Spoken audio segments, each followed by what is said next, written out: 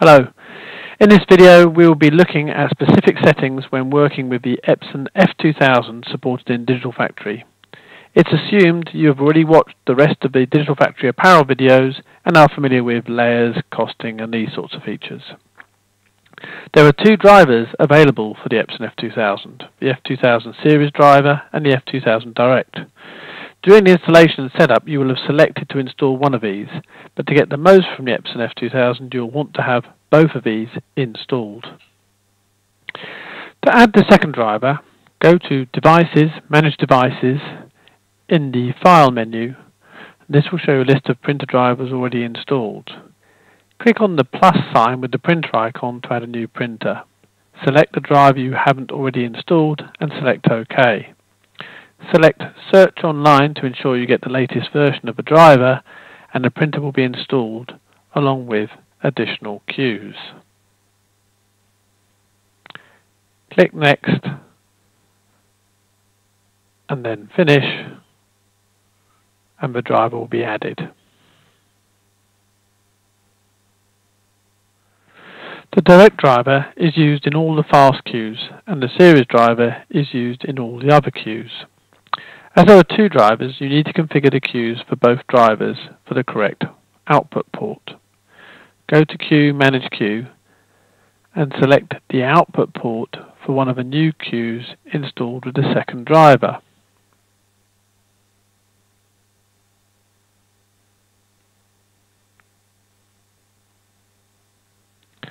Select Yes to change all the queues for this driver and everything will be set up and ready to go.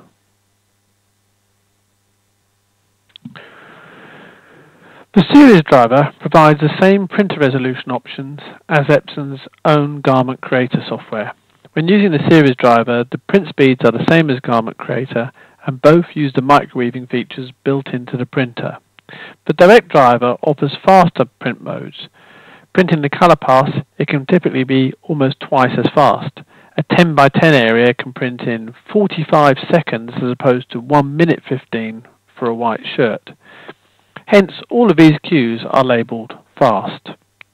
You don't need to worry about which driver gets used. That is taken care of by the queue. You just need to install the second print driver as an extra step in the setup process.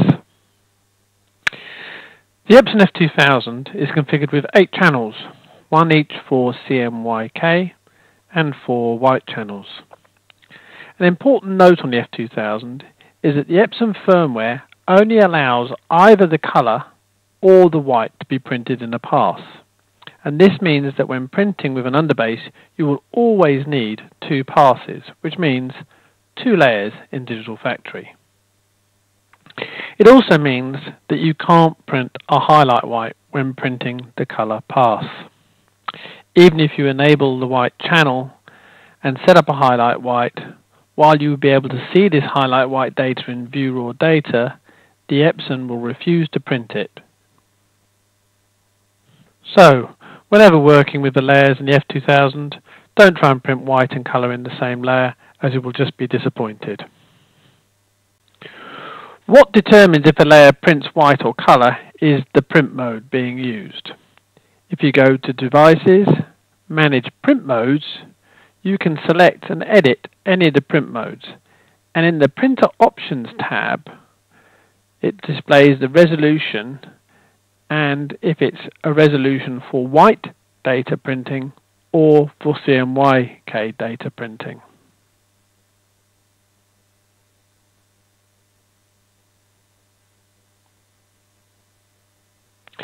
If you want to increase the amount of white used for the underbase, select the queue you want to adjust and click on the Layers button in the Smart Bar area. You have a couple of options to do this. You could use the Repeats feature, this would simply print the underbase layer twice. Or you could use a higher resolution. Click on the three dots and simply select a higher resolution underbase print mode. This is normally better than doing two passes as it will be slightly faster and less likely to introduce registration issues. By going to a 2880 by 1440 resolution for the underbase, we will have doubled the amount of white ink. this is more than likely going to be too much ink now and will quite likely cause bleeding when mixed with the colours.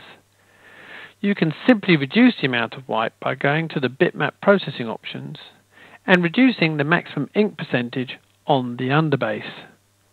In this case we'll take it down to 70%.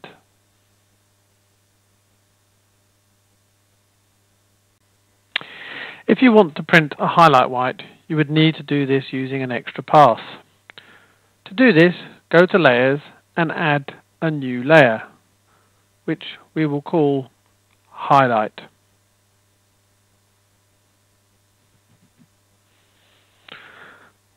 Make sure the white channel is enabled and the CMYK channels are disabled. Then in the pro bitmap processing options, select a white highlight and the strength of the white highlight you want. I always use 9 weak so as not to put too much white down in the light coloured areas. Also, make sure you have a white ink print mode selected, as if a colour print mode is used, the printer will not print anything. You could use a 1440 uh, underbase print mode for a strong highlight or a faster, lighter highlight at 1440 by 720.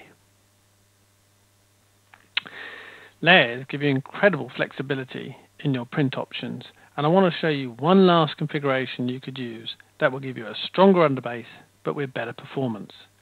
Doing two 1440 passes for an underbase will take twice as long and now you're reducing the max ink on the white because it's too much. So in this example, we'll create a second underbase, but print this at 1440 by 720, which will be twice as quick as a 1440 by 1440 pass. This way, we increase the density of the white for the underbase in a more speed-efficient manner. Due to the way the direct and series drivers work, the underbase print mode resolutions are slightly different. In the series driver, you will see we have 1440 by 720 1440 by 1440 and 2880 by 1440.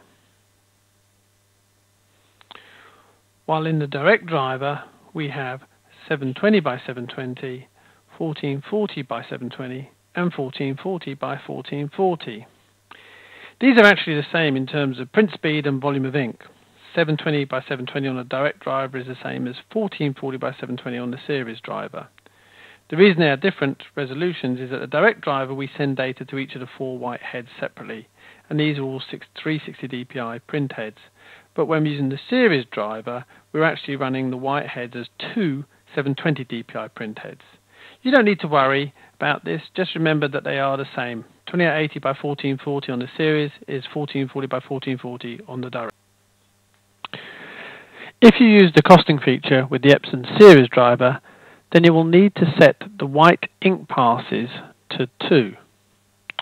Only one channel of white is actually sent to the Epson printer when using the series driver. It then duplicates internally the white data for the second print head.